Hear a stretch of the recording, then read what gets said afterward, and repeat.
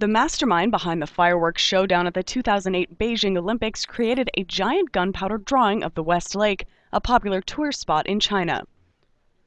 Working on a makeshift platform by the West Lake in the central Zhejiang province, Cai Guo-qiang drew the scenic spot on a 2,000 square meter silk cloth over four days.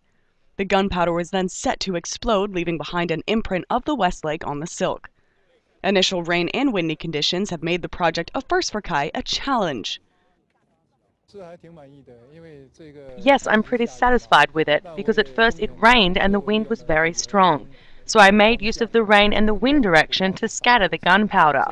So now that it's been set off and the smoky pattern turned out to be what I had in mind, a drifting smokiness.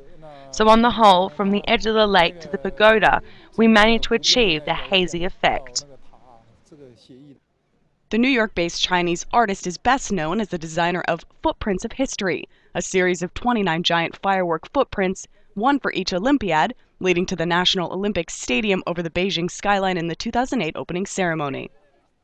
Local authorities have taken up measures to ensure that pollution from the explosion would be marginal. The finished product will be put up on display in the Zhejiang Art Museum on Saturday, April 21st.